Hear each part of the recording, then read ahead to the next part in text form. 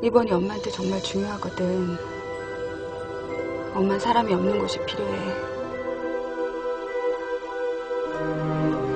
쥐뿔도 모르는 새끼들이 그 표절이나 많이 떠드는 거고 두고 봐.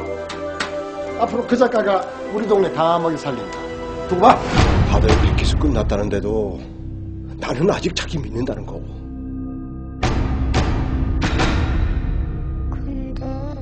언니 왜 자꾸 같은 말만 해?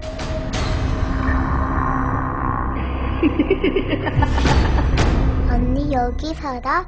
2층에?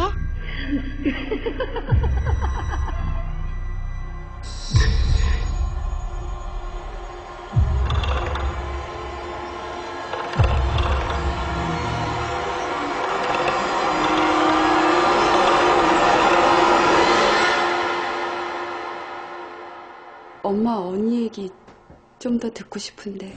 전국 서점내에서 돌풍을 일으키고 있는 소설 심연이도 표절 시비에 휘말렸습니다. 아, 심연은 1992년에 출간된 그 책에 있는 적 없다고! 무슨 봤어? 기사 봤어? 쟤 정말 나 끝이 알아? 너희가 알아!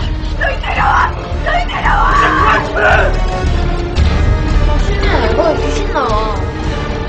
백 작가는 환자야.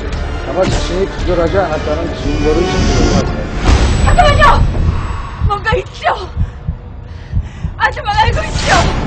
도대체 수진한테 무슨 짓을 한 거야? 책에 다 썼잖아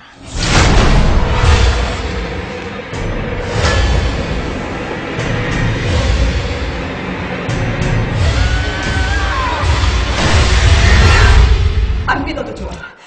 내가 증거를 찾아내겠어.